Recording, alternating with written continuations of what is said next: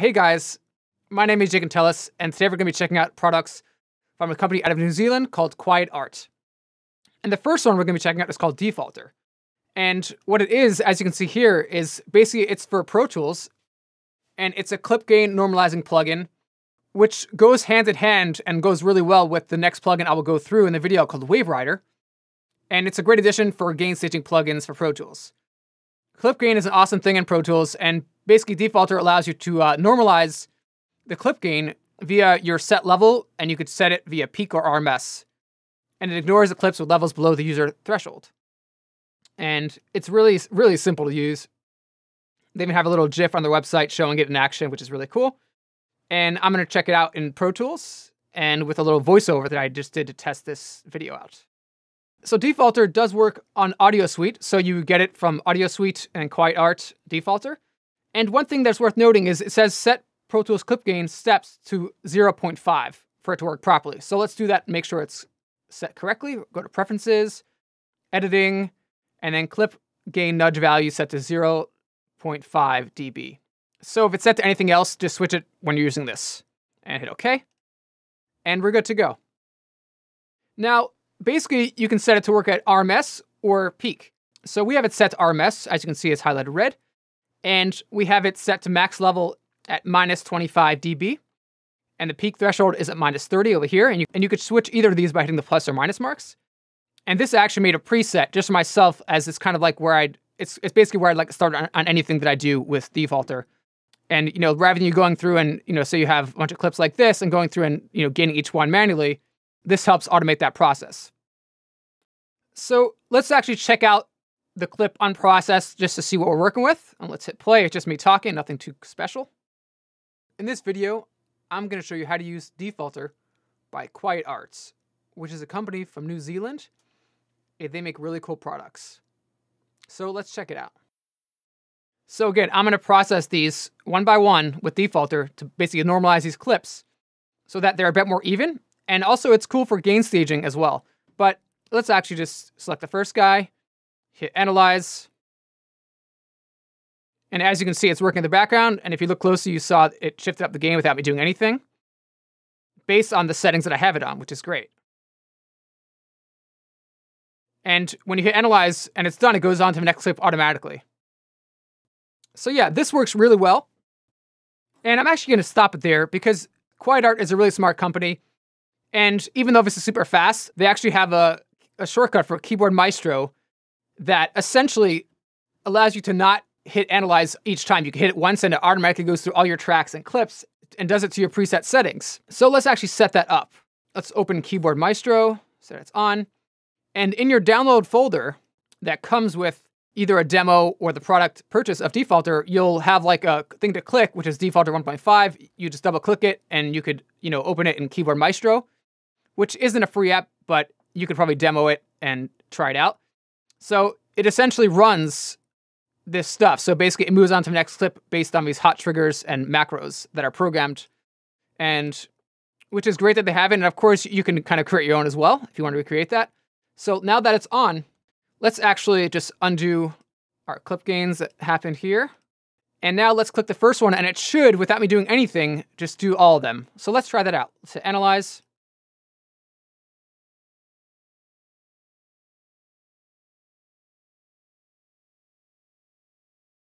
And as you can see, my hand is not touching anything and it's going through and doing all them. So if you're going to use this and doing a lot of vocal normalizing for clips, you know, for dialogue or for music tracks or vocals, then it's definitely worth investing the 30 or so dollars for Keyboard Maestro. You know, again, I just clicked it once and I'm talking to you guys and it's doing its thing. So I love macros. And one thing I would like to say also, if you notice, I have a blank track under it, and basically that what that does is that when it runs out of things, it's not going to keep going in a loop. So it sees blank and it stops. So that's why I have that there, which they recommend it in their manual, which as I see here, works great. And let's hear after with all these normalized without me doing anything really. I click one button. In this video, I'm going to show you how to use Defaulter by Quiet Arts, which is a company from New Zealand. They make really cool products. So let's check it out. So in addition to being louder, um, these clips are definitely a lot more even without any compression, uh, which is fantastic. So again, defaulter, clip gain normalizer plugin for Pro Tools, really easy to use. You can set it to RMS or peak values, and it kind of looks at that and then sets your audio. And again, you could click one and then hit analyze. And then once it's done, it goes to the next one and so on. Or you can use Keyboard Maestro and it'll do it for you. You just hit it once, and that's super easy to use. And I could see this being super valuable. And also, you know, say you have a mix that you're about to start and you want to say bring all your tracks down to say minus 16 or minus 12. To, like some people like their plugins to hit at a certain spot for headroom and otherwise. So you could use it for that as well. Let's go over WaveRider now, which is my second part of this video. And I felt like both products really connected really well. And I feel like I would use them both a lot. So I figured in one video kind of really shows off the company and the products. And let's check out WaveRider. So what is WaveRider? Well, it basically is a fader control utility and it applies volume adjustments to the Pro Tools faders to maintain consistent levels. And it can do things like uh, perform ducking, gating, tracing, and automatic mixing duties. And it's used a lot in mixing and post production. And there's a few main modes. You have ride mode, where it's a default mode. And basically, what this does is it automatically raises or lowers the fader to maintain the user's output level by writing volume automation of a timeline. And then you could, of course, still edit your automation, but it's great for vocals, bass, voiceovers, and all that sort of thing. Then there's a duck mode, which is really convenient. Say if you're doing like music with a, with a voiceover and you want the music to duck anytime the uh, voice starts. So this is kind of what I'm going to show you in this video. These two modes, and also park on silence is a function that you find on a lot of automatic mixer boxes, where the faders are set or parked at a user-defined level when there's a very little signal, and then they come up to the full output when there's a strong signal present. And it's really useful when there's a lot of mics and you want to have a clean signal without much background noise and it can also be used as a noise gate, or to replace a noise gate. So the trace function is basically the opposite of what the ride is, which is our first mode that we went through. So what it actually does is it creates volume graphs of the envelope of the signal. So say you have a bass guitar that's really distorted, and you have a DI track, and say the bass guitar is really noisy in between. So you could essentially copy the uh, envelope from the clean guitar to get rid of the noise in between and to have a really tight signal, say when you're stacking two sounds together like bass. So this definitely speeds up for automation and it makes mixing and automation easier. And of course, this is a tool to use, so it's not replacing you, uh, but it is super handy. And I figured I'll go through some of the voiceover of some music and I'll show you an example of how I'm using these functions that I just talked about. So over here, I have a vocal and I have a music track. So I have WaveRider inserted on the vocal track. And I should note that before I get started, that you have to set up something in setup. You go to peripherals and then uh, MIDI controllers, and you just select UE and then WaveRider 1 through 8 and on the receive from, and then 1 through 8 on the send to, and then you pretty much repeat those steps. UE, WaveRider 9 through 16, and then 17 to 24, 25 to 32, and you get the idea. You hit OK, and this basically allows it to talk to your mixer and control it. So for the vocal, what I actually wanted to do is, I actually made a preset but as you can see, you have the ride mode, you have a duck mode, you have the trace mode, which is there, and we have the park mode, you have a park level, and the output gain. And you have the ratio, threshold, and you can set it how you want depending on the vocal. More to the outer parts on the ratio, it's more loose in how it reacts. And if it's more to the middle here on both of these, then it's a bit faster and not as loose. And you have threshold, soft and loud range. It's pretty self explanatory. So it's basically looking at how the level is and how to react based on where these are set. And then for the duck, you have your duck attack and then your park release. And that's how fast the ducking happens and how fast the parking releases. And then you have your ducking range, which basically sets how much do you want to turn it down when it's ducking. So I have mine set to minus 10 dB. And we're not actually using ducking for this first track, so you can ignore us, but I figured I'd show you the settings.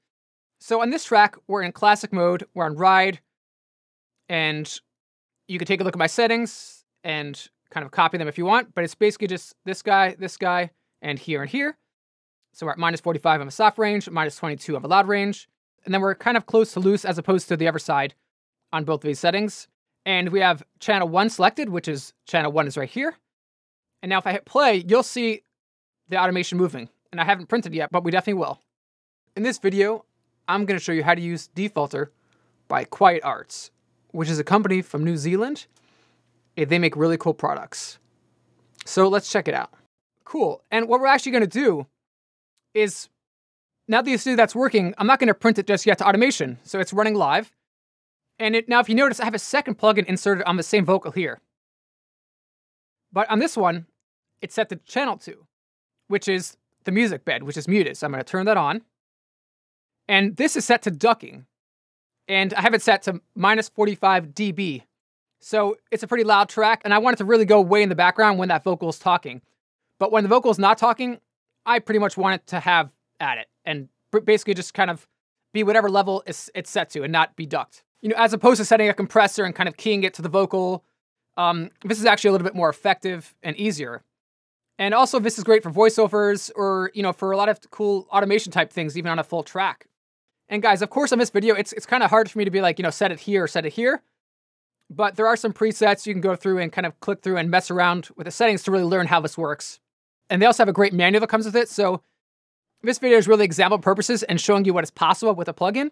Basically, I have my first track, which is a voiceover, and then I have a second plugin inserted on the same track, but it's looking at track two. And basically, when I have that playing, you'll see that when it's at the beginning, over here, the track will go to full volume, but when it starts to get to here where the vocal is, right, it'll duck. And then when it gets to here, it'll go back to full volume. And let's hit play and see what happens.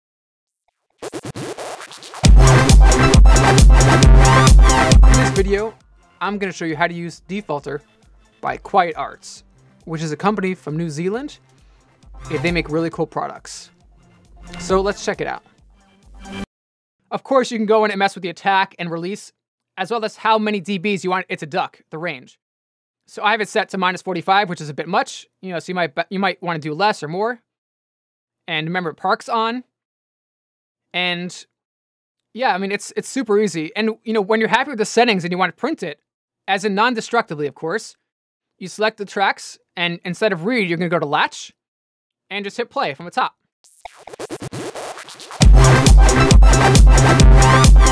Video, I'm gonna show you how to use Defaulter by Quiet Arts which is a company from New Zealand.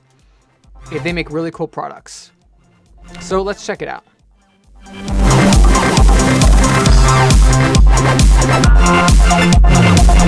And, you know, as you can see, it wrote the automation. You know, it kind of did what it said it would do. And of course, I could probably speed up the attack here so that it's not as slow starting out because I felt like the, the first word, it, it was kind of lost a bit. So what I can do here is just kind of draw it down and um, or or I could punch in the automation, but I think for this, this kind of works.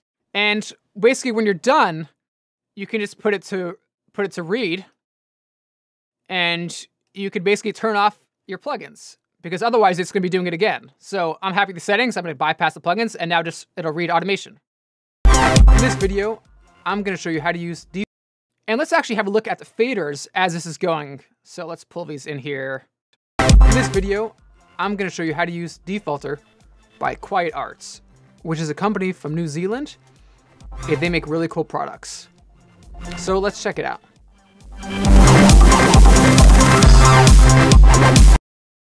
So you can see with the drop of setup how easy it is to automate a ton of things.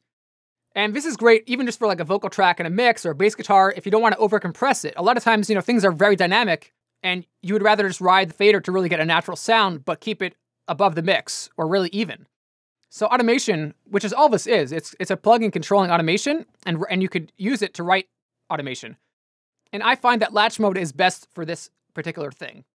Again, guys, you can check them out at quietart.co.nz.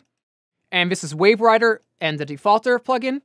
Definitely check them out. Really great company out of New Zealand. And, you know, I feel like I'm going to be using this a ton on mixes and videos like this one.